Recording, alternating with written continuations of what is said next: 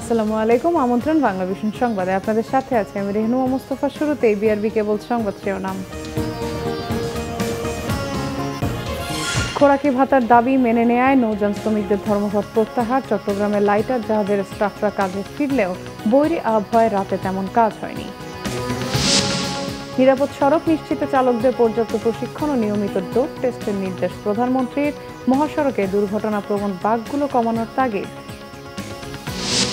রাজধানীতে টিসিবির পঁচিশ টাকা দরের আলুর জন্য দীর্ঘ লাইন, শিগগিরই আলুর দাম কমলেও পেঁয়াজের বাজার নিয়ন্ত্রণের সময় লাগবে, জানালেন বাণিজ্যমন্ত্রী দেখছিলেন বিআরবি কেবল সংবাদ শিরোনাম, এবার বিস্তারিত।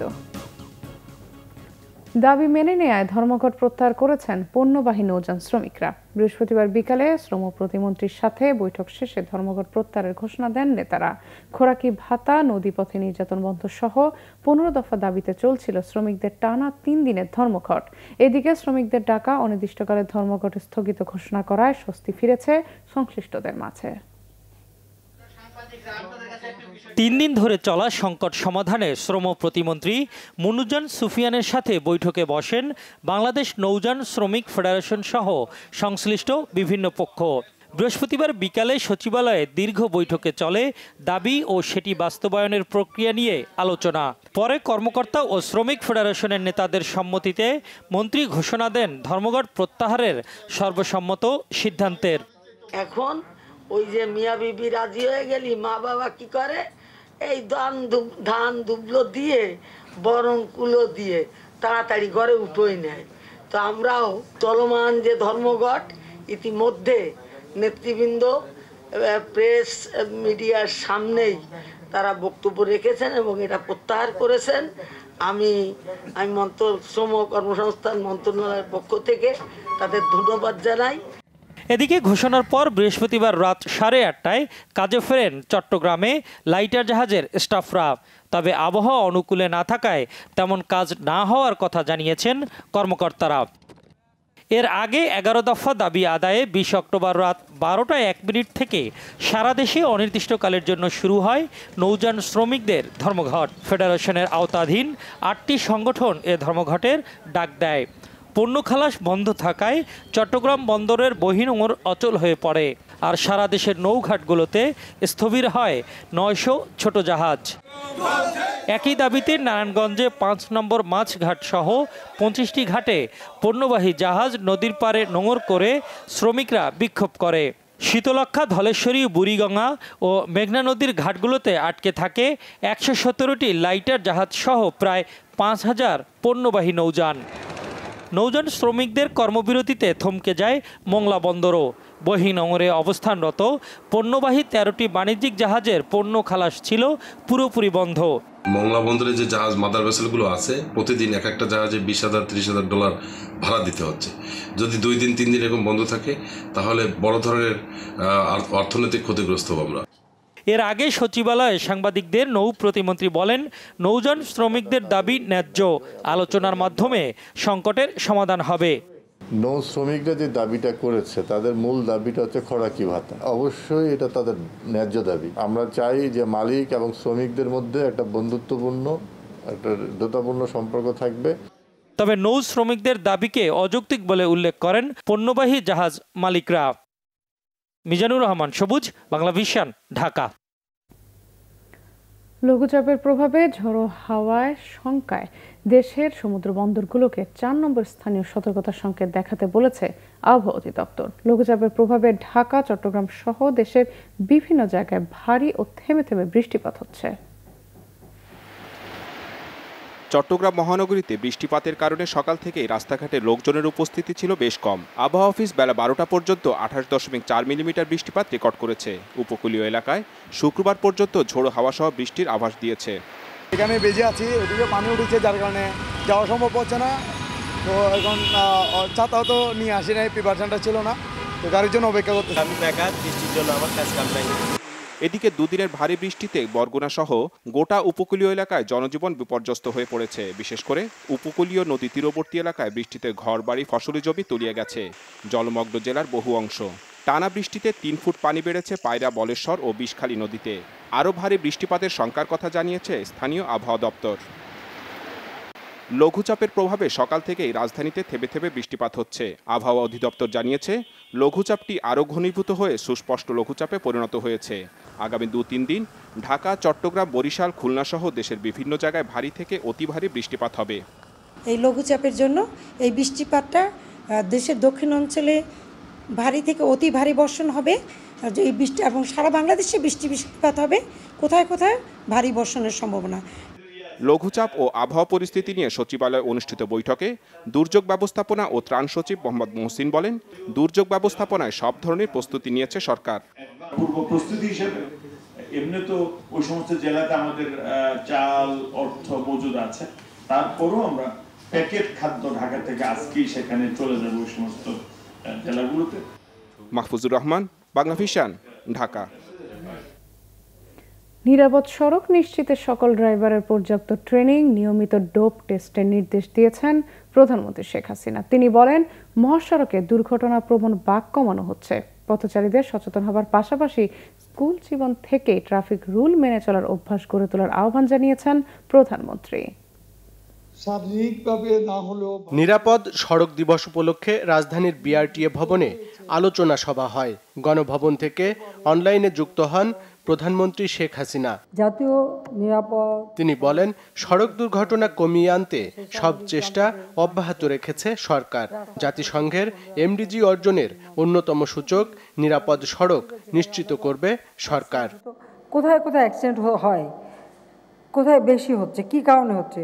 সেগুলি সুনির্দিষ্টভাবে খুঁজে বের করে আমরা ধীরে ধীরে সেগুলি কিন্তু মানে সংস্কার করে দিচ্ছি। ইতিমধ্যে আমরা সেটা শুরু করেছি। গাড়ি চালকদের জন্য বেশ কিছু নির্দেশনা তুলে ধরেন প্রধানমন্ত্রী।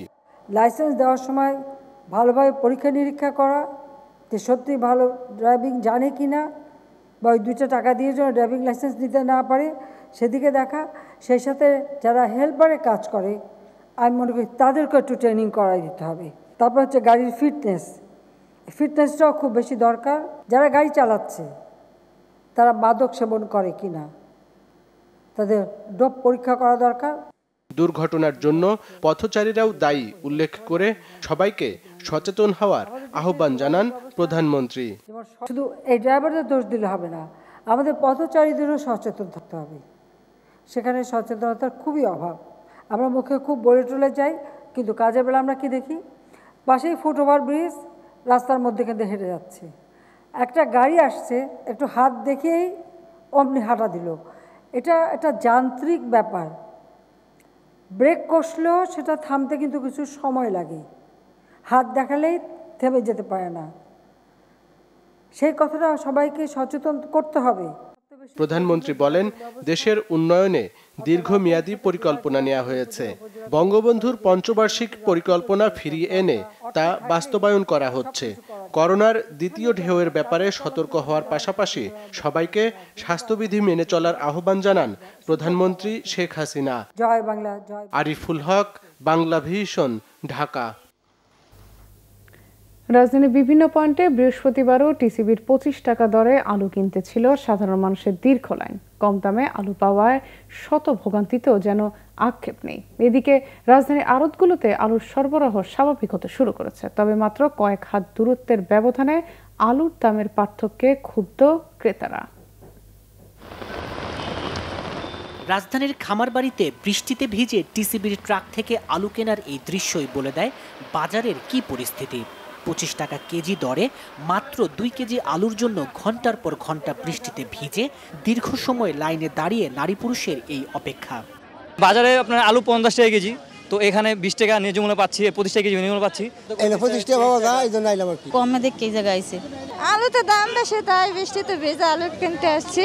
দোকানের দাম বেশি এই জায়গায় দাম কম। দাম বেশি সব কিছুরে তাই বৃষ্টির ভিজে বাধ্যতামূল্যে আসতে হয়। বাজারে অত্যন্ত দাম বেশি এই জন্য বাধ্য হয় এখানে এখান থেকে আমাদের নিতে নিতে হচ্ছে। এদিকে কারণ বাজারের আড়তে আলুর সরবরাহ স্বাভাবিক হতে শুরু করেছে। কিছু জায়গায় সরকার নির্ধারিত খুচরা পঁয়ত্রিশ টাকা কেজি দরে বিক্রি হলেও অনেক জায়গায় বিক্রি হচ্ছে আটত্রিশ থেকে চল্লিশ টাকা কেজিতে।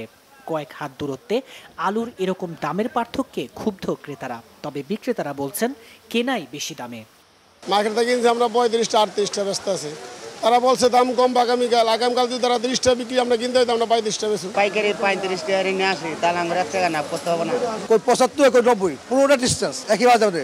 পাল্লাতে কেজিতে পনেরো তিনটা ডিফারেন্স একই বাজারে তো হওয়ার কথা না। এই আলু লসে বেচতেছে কেজিতে দু টাকা। সরকার যে রেট দিয়েছে ওই রেটে মাল আসছে ওই রেটে আমরা কিনে আজকে বিক্রি করতেছি। অন্যদিকে আলুর বাজারের এমন উদ্বেগের মাঝে সরকার নির্ধারিত মূল্যের চেয়েও পাঁচ টাকা কমে ত্রিশ টাকা কেজি দরে আলু বিক্রি শুরু করেছে সুপার শপ স্বপ্ন। গ্রাহকদের স্বস্তির জন্য জনপ্রতি সর্বোচ্চ দুই কেজি করে স্টক শেষ না হওয়া পর্যন্ত চলবে এই অফার। তাইমুর রশিদ, বাংলা ভিশন, ঢাকা। ভোজ্য তেলের দাম কেজি ও লিটার প্রতি দুই টাকা কমানো হয়েছে। সাংবাদিকদের এ তথ্য নিশ্চিত করেছেন বাণিজ্যমন্ত্রী টিপু মুন্সি। আলুর বাজার খুব শিগগিরই নিয়ন্ত্রণে আসবে বলেও আশা করেন বাণিজ্যমন্ত্রী বৃহস্পতিবার সচিবালয়ে বাংলাদেশে নিযুক্ত ভারতের হাই কমিশনার বিক্রম কুমার দোরাই স্বামীর সৌজন্য সাক্ষাৎ শেষে তিনি কথা জানান। এ সময় মন্ত্রী বলেন, দেশের চাহিদার তুলনায় প্রায় আট লাখ টন পেঁয়াজের ঘাটতি থাকে। সেটি সামাল দিতে আমদানির বিকল্প নেই। এক্ষেত্রে ভারত হঠাৎ করে রপ্তানি বন্ধ না করে এক মাস আগে জানালে সুবিধা হয়। বিষয়টি হাইকমিশনারকে অবহিত করা হয়েছে বলে জানান বাণিজ্যমন্ত্রী। তবে আমদানি নয়, নিজস্ব উৎপাদন সক্ষমতা বাড়ানোর লক্ষ্য নিয়েই সরকার কাজ করছে বলেও জানান তিনি। মন্ত্রী বলেন, আমদানির কারণে পেঁয়াজের দাম কমতে সময় লাগতে পারে। বিএনপি চেয়ারপারসনের উপদেষ্টা আমানুল্লাহ আমানের অভিযোগ, ঢাকা আঠারো আসনের উপনির্বাচনের প্রচারণা শুরুর আগেই ঘরোয়া সভায় হামলা করেছে প্রতিপক্ষ। এতে বিএনপির কাউন্সিলর সহ বেশ কয়েকজন আহত হয়েছেন। নির্বাচনের প্রচারণা শুরুর আগে এ জাতীয় হামলার সাথে জড়িতদের দ্রুত গ্রেফতারের দাবি জানান আমানুল্লাহ আমান। প্রচারণায় সব প্রার্থীর সমান সুযোগ নিশ্চিতে নির্বাচন কমিশনকে অনুরোধ করেন তিনি। ধানের শীষের প্রার্থী এস এম জাহাঙ্গীর হোসেনের বাসভবনে বৃহস্পতিবার আয়োজিত সংবাদ সম্মেলনে আমানুল্লাহ আমান এসব অভিযোগ করেন। তিনি বলেন, বিএনপি শান্তিপূর্ণ নির্বাচন চায়, তবে ভোট নিয়ে কোনো ষড়যন্ত্র হলে জনগণ প্রতিরোধ করে তুলবে। কোনো নির্বাচনই বিনা চ্যালেঞ্জে ছেড়ে দেয়া হবে না বলেও হুঁশিয়ারি দেন আমানুল্লাহ আমান।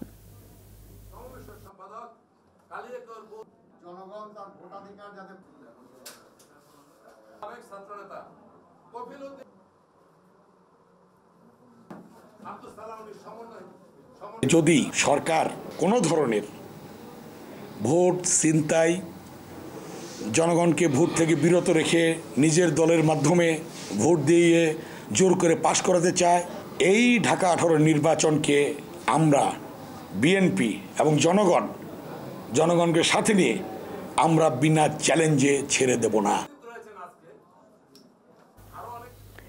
হবিগঞ্জের সাবেক অর্থমন্ত্রী Shah A M S Kibria হত্যার ঘটনায় বিস্ফোরক আইনে এবং সুনামগঞ্জের দিরাইয়ে প্রয়াত সাবেক রেলমন্ত্রী সুরঞ্জিত সেনগুপ্তের সমাবেশে গ্রেনেড হামলার ঘটনায় বিস্ফোরক ও হত্যার চেষ্টার ঘটনায় আলাদা দুই মামলায় আসামিদের বিরুদ্ধে চার্জ গঠন করা হয়েছে। বৃহস্পতিবার সকাল এগারোটায় কঠোর নিরাপত্তার মধ্যে সিলেটের বিভাগীয় দ্রুত বিচার ট্রাইব্যুনালের বিচারক শাহরিয়ার কবিরের আদালতে তোলা হয় কারাগারে থাকা সাবেক স্বরাষ্ট্র প্রতিমন্ত্রী বাবর সহ নয় জনকে। এ সময় আদালতে হাজির হন জামিনে থাকা সিলেট সিটি কর্পোরেশনের মেয়র আরিফুল হক চৌধুরী ও হবিগঞ্জ পৌরসভার সাবেক মেয়র জি কে ঘোষ। এদিকে Shah A M S Kibria হত্যা মামলায় এগারো জন আসামি আদালতে হাজির থাকলেও সাক্ষীরা উপস্থিত না হওয়ায় সাক্ষ্য গ্রহণ হয়নি। পরবর্তীতে আদালতে সুনামগঞ্জের দিরায়ে সুরঞ্জিত সেনগুপ্তের সমাবেশে গ্রেনেড বিস্ফোরণ ও হত্যা চেষ্টার মামলায় চার্জ গঠন করা হয়। পাশাপাশি কারাগারে ও জামিনে থাকা সব আসামির উপস্থিতিতে কিবরিয়া হত্যা মামলায় বিস্ফোরক আইনের মামলার চার্জ গঠন করা হয়। পরে কঠোর নিরাপত্তায় বাবর সহ আসামিদের আবার কারাগারে নিয়ে যাওয়া হয়। বাঙালি হিন্দু সম্প্রদায়ের সবচেয়ে বড় উৎসব আজ শারদীয় দুর্গোৎসবের মহাসপ্তমী পূজা। চণ্ডীপাঠ, বোধন এবং দেবীর অধিবাসের মধ্য দিয়ে বৃহস্পতিবার থেকে শুরু হয়েছে শারদীয় দুর্গাপূজা। ষষ্ঠীর দিন দেবী আসনে আসীন হয়েছেন। এবার দেবী এসেছেন দোলায়, যাবেন হাতিতে চড়ে। শুক্রবার সকাল সোয়া আটটায় নবপত্রিকা প্রবেশ ও সপ্তমী বিহিত পূজা শুরু হবে। পূজা শেষে ভক্তরা অঞ্জলি দেবেন। তবে করোনা মহামারীর কারণে এবার অঞ্জলি দেওয়ার ব্যবস্থা করা হয়েছে সরাসরি টেলিভিশনে এবং ফেসবুকে। ভক্তদের বাসায় বসেই অঞ্জলি দেওয়ার আহ্বান জানিয়েছে বাংলাদেশ পূজা উদযাপন পরিষদ। তাছাড়া মহাসপ্তমীর দিন দুপুর বারোটা এক মিনিটে করোনা মুক্তি এবং দেশ, জাতি ও বিশ্ব শান্তি কামনায় বিশেষ প্রার্থনা করা হবে। সকাল দশটা পঁয়তাল্লিশ মিনিটের সরাসরি অঞ্জলি প্রদান সম্প্রচার করা হবে বলে জানিয়েছে মহানগর সার্বজনীন পূজা কমিটি। এদিকে দুর্গাপূজাকে ঘিরে নাশকতার কোনো হুমকি নেই, তবে সামাজিক যোগাযোগ মাধ্যমে গুজব ছড়ালে তাদের বিরুদ্ধে কঠোর ব্যবস্থা নেওয়ার হুঁশিয়ারি দিয়েছেন র্যাব মহাপরিচালক চৌধুরী আবদুল্লাহ আল মামুন। বৃহস্পতিবার সকালে রাজধানীর বনানী মাঠে পূজা মণ্ডপ পরিদর্শন করেন তিনি। তারপর সাংবাদিকদের জানান, সুনির্দিষ্ট কোনো হুমকি নেই পূজাকে ঘিরে, তবে সব ধরনের হুমকি বিবেচনায় নিয়েই এবারের পূজাকে ঘিরে সারা দেশে নিরাপত্তা পরিকল্পনা নেওয়ার কথা জানান র্যাব মহাপরিচালক। তিনি বলেন, অপরাধী চক্র যোগাযোগ মাধ্যমে গুজব ছড়াতে পারে সেদিকটি বিবেচনায় নিয়ে গোয়েন্দারা কাজ করছে বলেও জানান চৌধুরী আবদুল্লাল মামুন। তবে স্বাস্থ্যবিধি মেনে এবারের পূজা মণ্ডপে দর্শনার্থীদের যেতে অনুরোধ করেন তিনি। দেশে করোনা ভাইরাসে আরও চব্বিশ জনের মৃত্যু হয়েছে। এ নিয়ে মৃত্যুর সংখ্যা বেড়ে পাঁচ হাজার সাতশো সাতচল্লিশ জনে দাঁড়িয়েছে। বৃহস্পতিবার স্বাস্থ্য অধিদপ্তরের দেয়া প্রেস বিজ্ঞপ্তিতে জানানো হয়, গেল একদিনে মৃতদের মধ্যে পুরুষ আঠারো এবং নারী ছয় জন। নতুন চোদ্দ হাজার নয়শো আটান্নটি নমুনা পরীক্ষায় এক হাজার ছয়শো ছিয়ানব্বই জনের করোনা শনাক্ত হয়েছে। এ নিয়ে দেশে মোট আক্রান্ত তিন লাখ চুরানব্বই হাজার আটশো সাতাশ জন। নতুন এক হাজার ছয়শো সাতাশি জন সহ মোট সুস্থ হয়েছে তিন লাখ দশ হাজার পাঁচশো বত্রিশ জন। মৃত্যুর হার এক দশমিক চার ছয়, শনাক্তের হার এগারো দশমিক তিন চার, সুস্থের হার আটাত্তর দশমিক ছয় পাঁচ শতাংশ। এবার কেমন খেলার সংবাদ।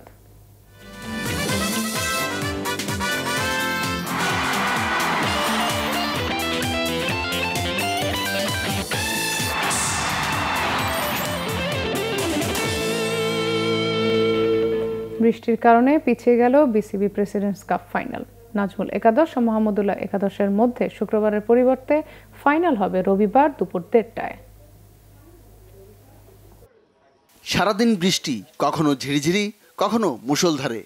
অনুশীলন ছিল না নাজমুলদের। বৃষ্টির বৈরিতার মাঝেও অনুশীলন সেরেছেন মাহমুদুল্লাহরা। যদিও শেষ পর্যন্ত পিছিয়ে গেল ফাইনাল। লিগ পর্বের চার ম্যাচের তিনটিতে জয় নিয়ে ফাইনালে উঠেছে নাজমুল হোসেন শান্তর দল। ফাইনালে ফেভারিটের তকমা শান্তদের গায়েই। অন্যদিকে ফাইনালে উঠতে রিয়াদ মুমিনুলদের নিতে হয়েছে ভাগ্যের সহায়তা। ভালো একটা টুর্নামেন্ট আমরা খেলছি এবং সেটার ফাইনাল খেলতে পারছি। তো সেদিক থেকে আমরা সবাই মুখিয়ে আছি যে ভালো ফাইনাল যেন আমরা খেলতে পারি। অবশ্যই অনেক ভালো লাগতেছে এরকম একটা টুর্নামেন্টে ফাইনাল খেলতে পেরে। এবং আমরা সবাই অনেক এনজয় করেছি এই টুর্নামেন্টটা আর আশা করছি ইনশাল্লাহ ফাইনালেও ভালো কিছুই হবে। করোনার দীর্ঘ বিরতি শেষে মাঠে ফিরেছেন ক্রিকেটাররা। বায়োবাবলের কঠিন ঘেরাটোপে থাকলেও এই টুর্নামেন্ট তাদের কাছে এসেছে আশীর্বাদ হয়ে।